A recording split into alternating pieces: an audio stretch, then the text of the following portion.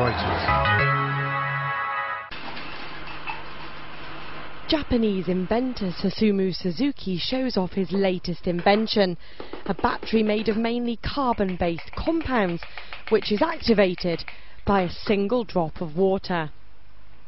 Suzuki says the design of this water-powered battery means it has uses far beyond those of traditional batteries.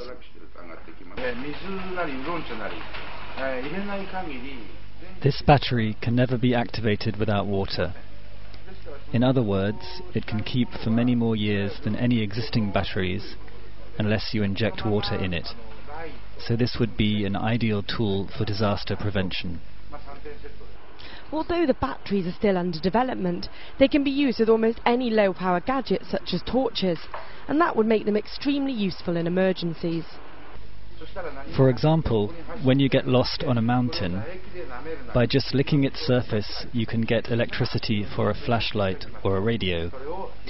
This will be an essential tool in the near future.